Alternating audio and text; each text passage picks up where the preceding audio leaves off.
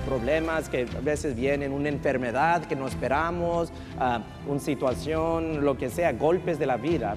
Y el golpe más fuerte de la vida es la muerte.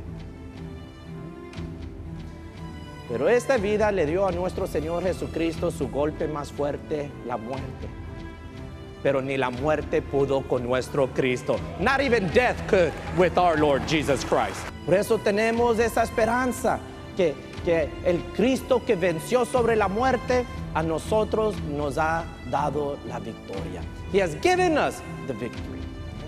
So en recibir a Jesucristo recibemos la salvación, vida, vida nueva, eh, vida en abundancia, vida eterna.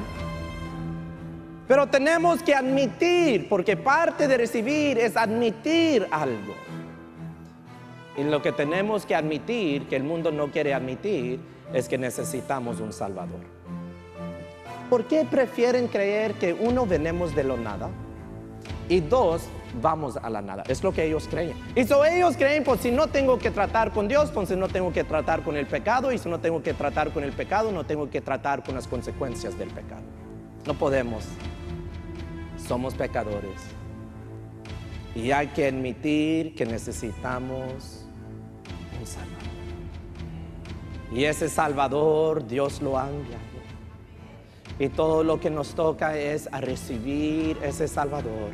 Y su nombre es Jesucristo. Él murió en la cruz para pagar el precio de nuestros pecados. Él murió en la cruz para pagar nuestra deuda.